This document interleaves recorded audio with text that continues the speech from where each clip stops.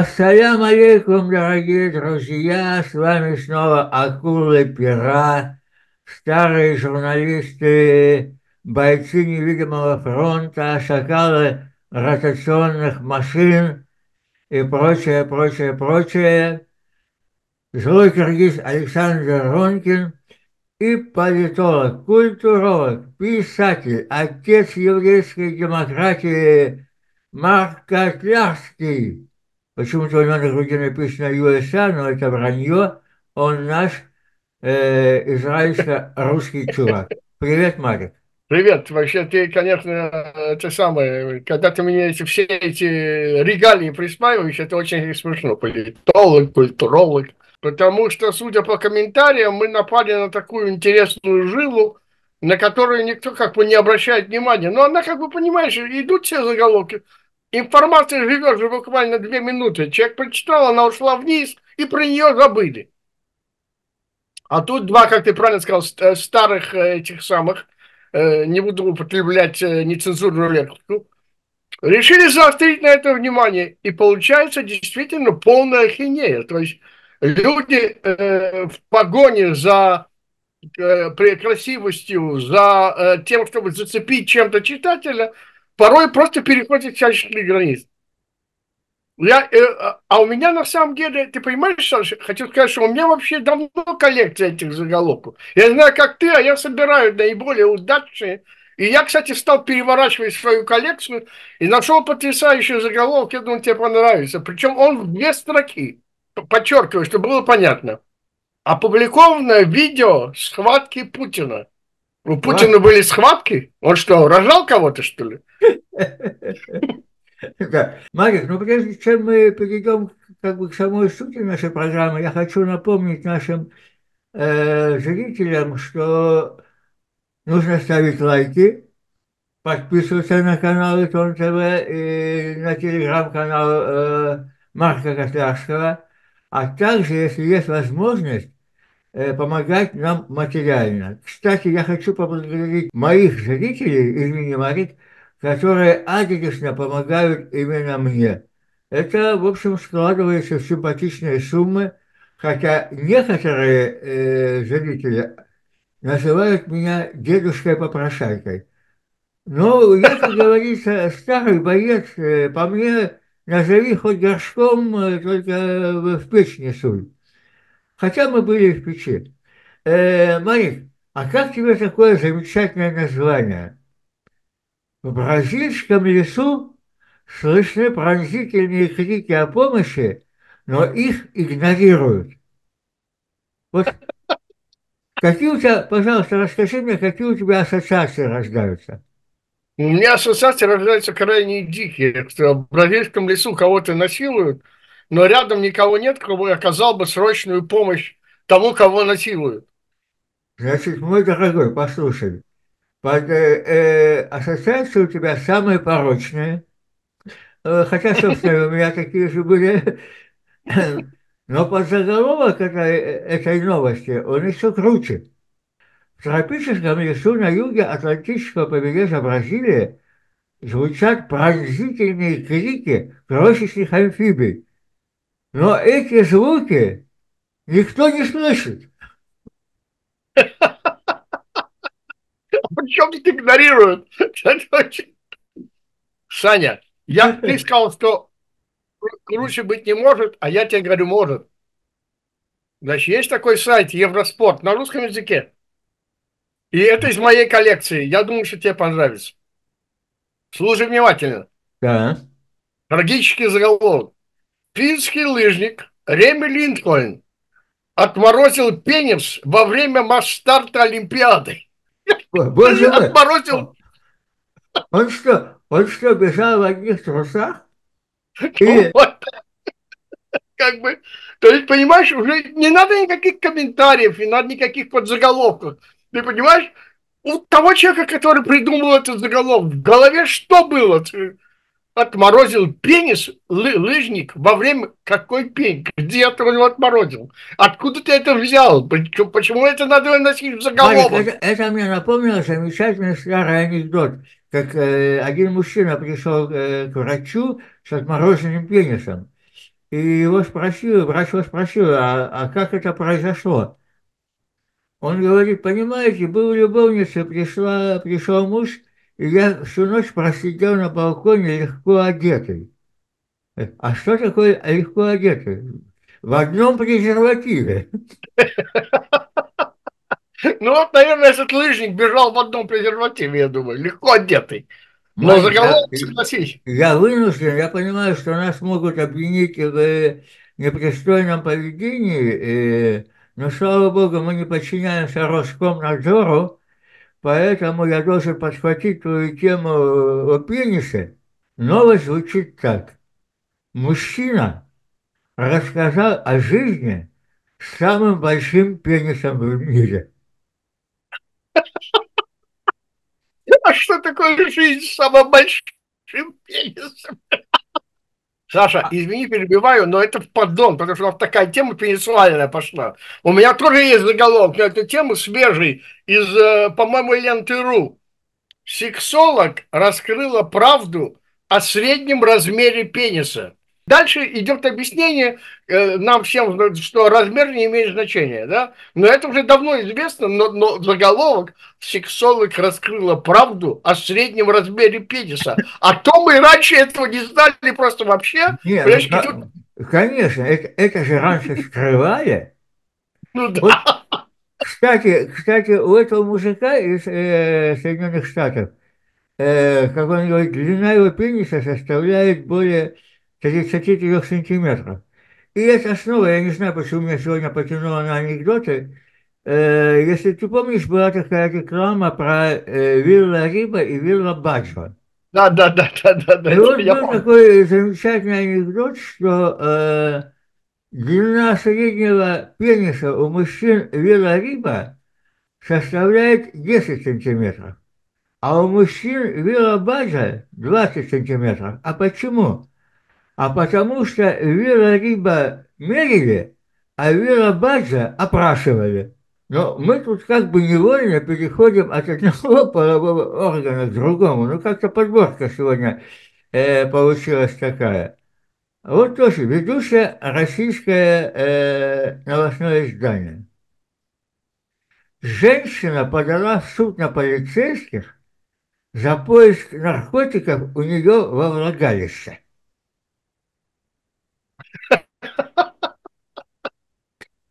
Оказывается, э, одна тайская женщина проходила проверку в аэропорту, а мы знаем, что полиция и таможня Таиланда очень строго относятся к наркотикам.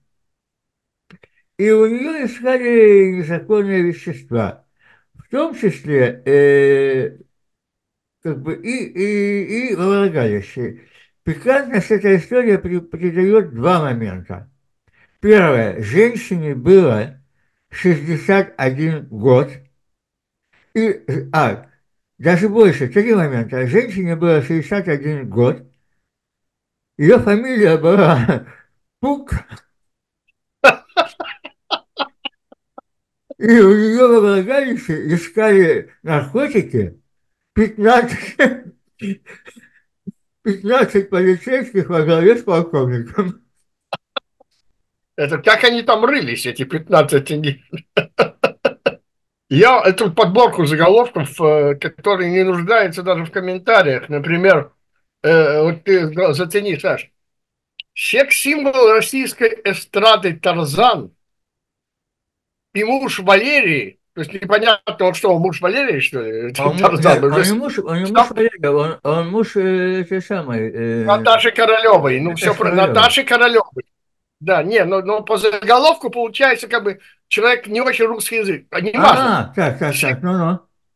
Секс-символ российской эстрады Тарзан и муж Валерий сообщили о бедственном положении артистов. Двоеточие. Им хуже, чем пенсионерам. Подожди, я пытаюсь понять. Значит, это, это были двое людей, да? Вот двое. А, а- а такое ощущение по заголовку, что это один. Чем же они занимались э, э, в этот момент, когда им было хуже, чем пенсионерам? Вот это вопрос, который требует ответа. Хорошо. Марик, я хочу обратиться к нашим э, зрителям Э, многие из которых уже прислали нам в ответ на наши как бы шутки, малопристойные и пристойные, прислали свои варианты э, заголовков. Я хочу обратиться с призывом делать это как можно больше. Друзья, если вам попадутся такие заголовки, присылайте нам, и мы обязательно будем их озвучивать. А по окончанию сезона, где-то к лету, мы с Мариком сделаем вам, сделаем автору лучшего, вернее, нашедшему лучший заголовок, самый смешной, мы сделаем симпатичный подарок. Хорошо, Марик?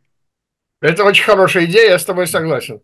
Э, ну, теперь давай перейдем э, к заголовкам, которые даже э, не сами по себе смешны, а потому, что за ними кроется. В Конгрессе США пообещали больше не давать денег украинцам. Что это такое? Не понял. Что ты думаешь?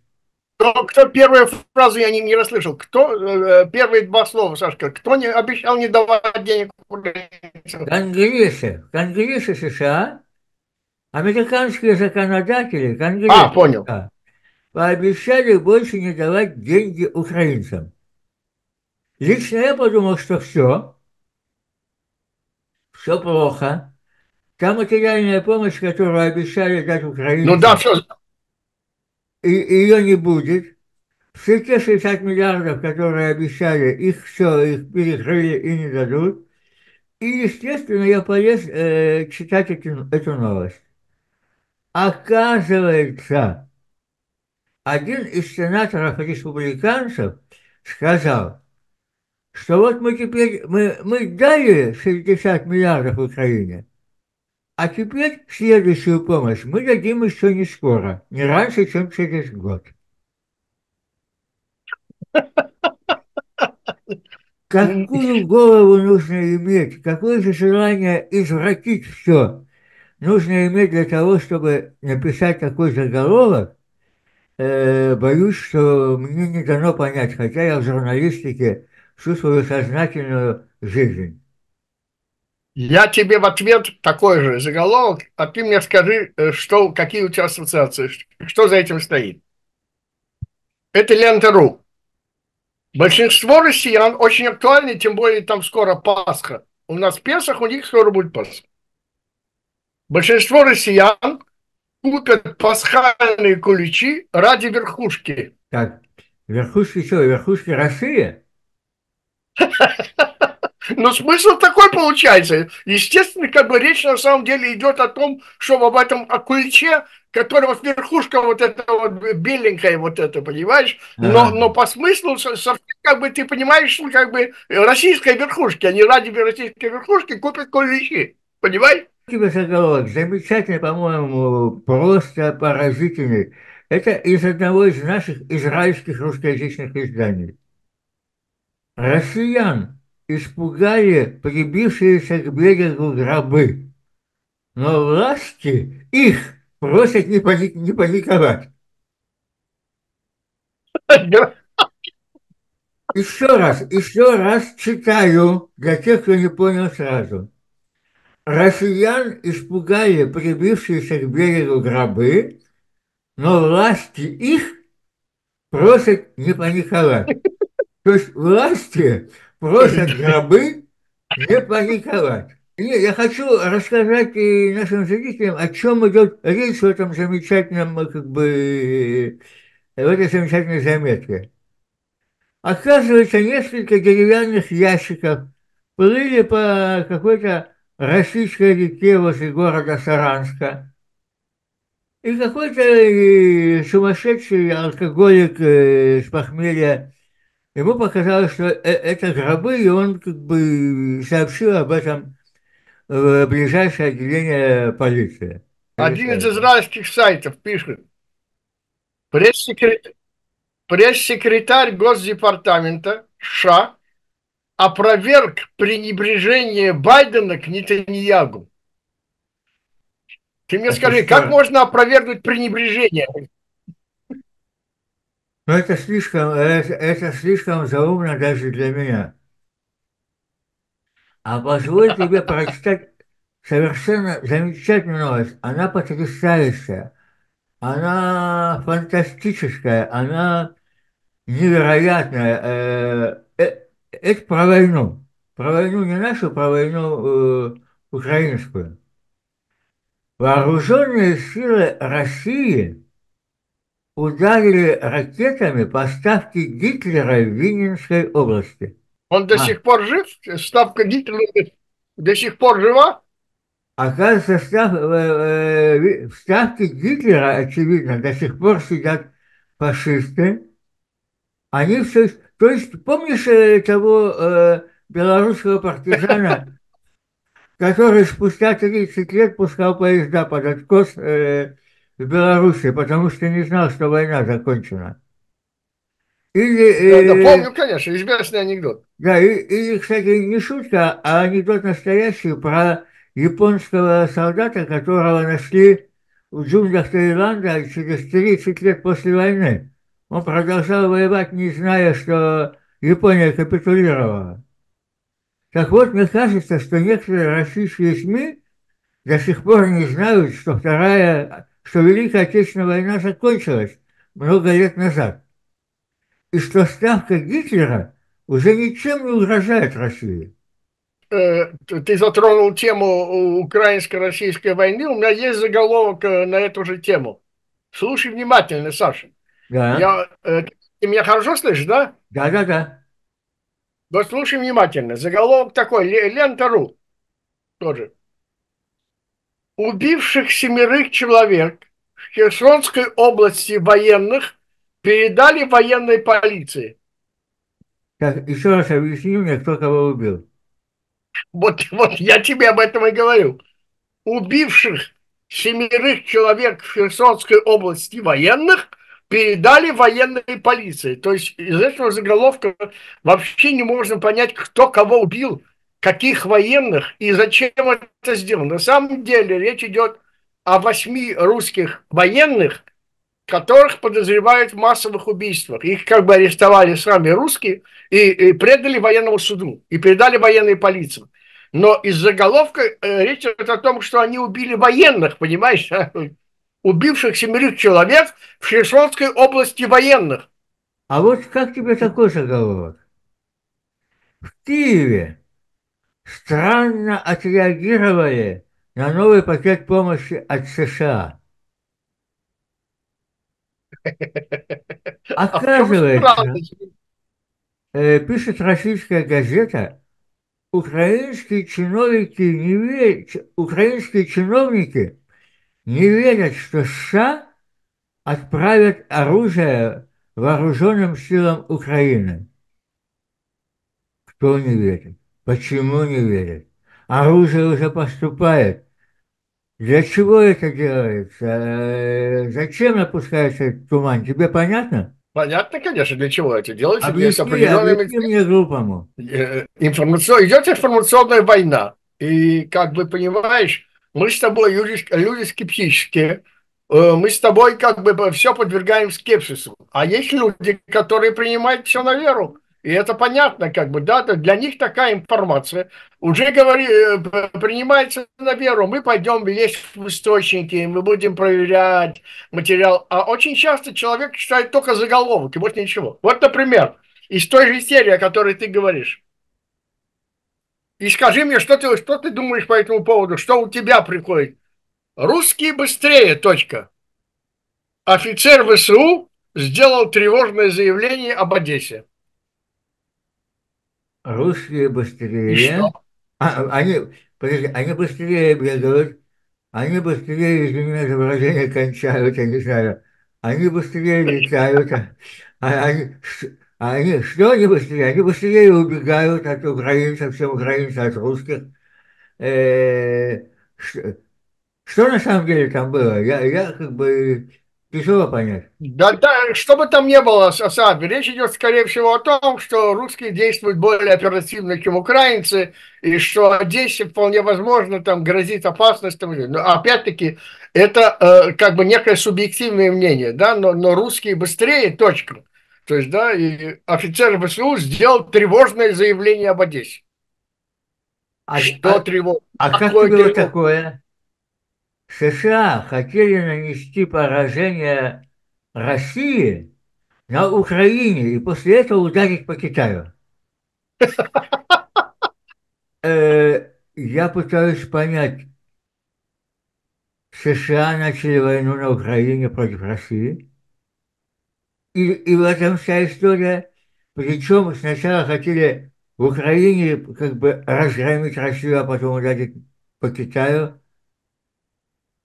Кто-то мне может объяснить, какие мозги должны быть у этих людей, чтобы сочинять такие заголовки?